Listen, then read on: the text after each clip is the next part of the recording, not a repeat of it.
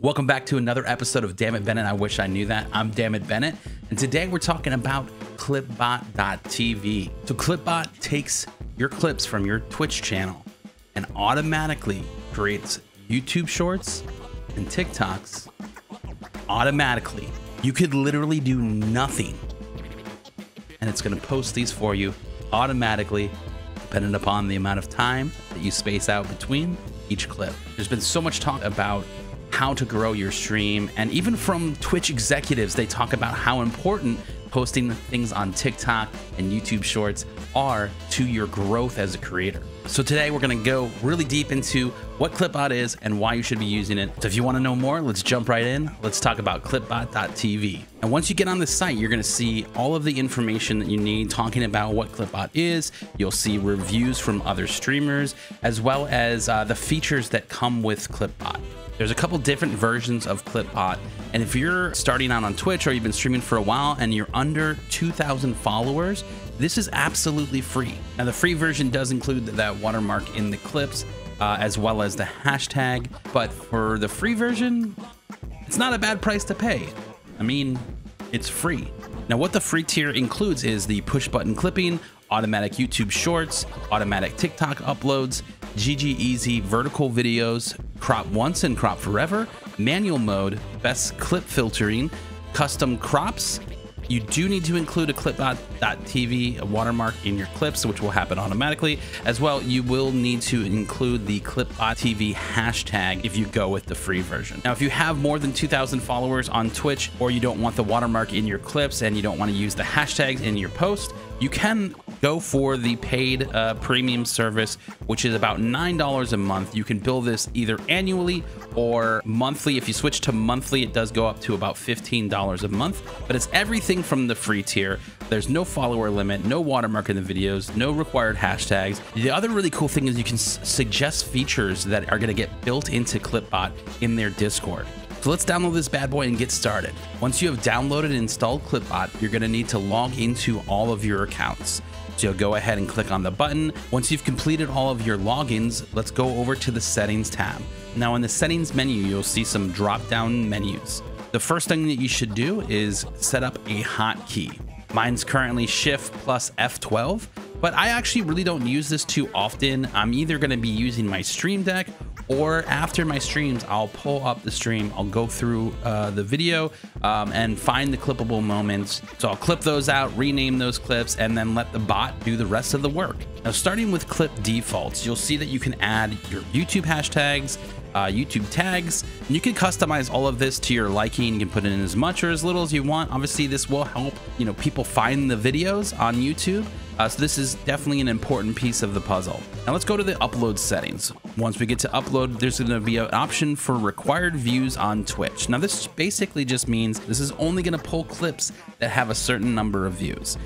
I personally put this on zero. I want Clipbot to pull every single clip from my channel. I want to be able to approve and reject clips. The next thing that you have to select is the time between posts. I currently have mine set as 24 hours, so that's one post a day. The next three options under the upload settings include your default approve, which is going to upload any clip unless it has been rejected, and then you're going to turn on your TikTok uploads and YouTube uploads. Under the advanced settings tab, there's a clip age, and this is how old the clip must be to get posted. If you want to stay in that safe zone, 24 hours is the right move. The other thing that I, I would also recommend in the upload settings is the YouTube auto game category. Basically, this is to put the game that you're playing in parentheses after the title of your video on YouTube. Why this is important, it actually helps the algorithm find your video. Once you save those settings and you're able to make it back to the main section of the app, we're to go ahead and jump in and tackle the auto crop now. Now we already have this selected, but, but as you can see, you can reframe this. Uh, you can, if you feel like you're in the right zone, you can move on to the next one, and then you just reposition in the center of your screen. Uh, and when you feel good about that, you hit done, and that is it. It is gonna auto crop that for every single clip moving forward. Now, if we go into the clips section of the application, this is going to pull all of your clips from all time. And one of the other really cool features inside this clips manager is you can reset and do a specific custom crop for each clip. So if one day you did change your camera position and only on that clip, you can set a custom crop specifically just for this clip that won't affect your other auto crop settings. And also sort all of your Twitch clips by views, by date. You can select them if they've been approved by Clipbot before or rejected. And Clipbot does come with a tutorial, so it will walk you through step by step of how to do everything, uh, which is really nice as well. You'll also notice that there's an approval button and a reject button, but you can approve and reject clips. Once you approve, you can move on to the next clip. Now, it is important to note that all of the titles, hashtags, all of that information in here that can be streamlined and automatically posted, that is specifically for YouTube. We'll get into the TikTok part in a second. And that's really it for the application itself. So let's jump into the other side of things. So once you go into TikTok, you're going to be on your phone. And what we're going to look for is something that says TikTok platform. Your video from Clipbot is ready.